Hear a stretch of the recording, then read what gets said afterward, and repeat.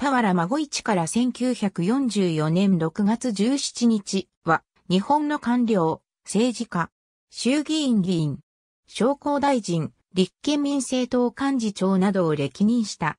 ジュニー、君一等。夜勤学者、田原国一は弟。浜田市長を務めた田原39郎は老い。政治評論家の田原幸太郎は孫。1869年5月7日、岩見国浜田に田原屋の三代目、39郎、皆野逸夫として生まれる。幼少の頃から、家業の醤油醸造、ろうそくの製造販売等を手伝う。浜田中学、泊園書院、共立学校、第一高等学校を経て1895年、帝国大学法科大学英法科を卒業する。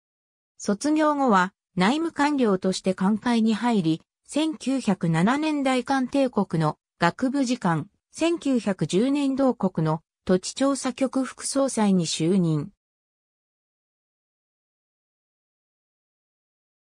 本国に帰国した後、三重県知事、宮城県知事、北海道庁長官、拓殖事務局長を歴任する。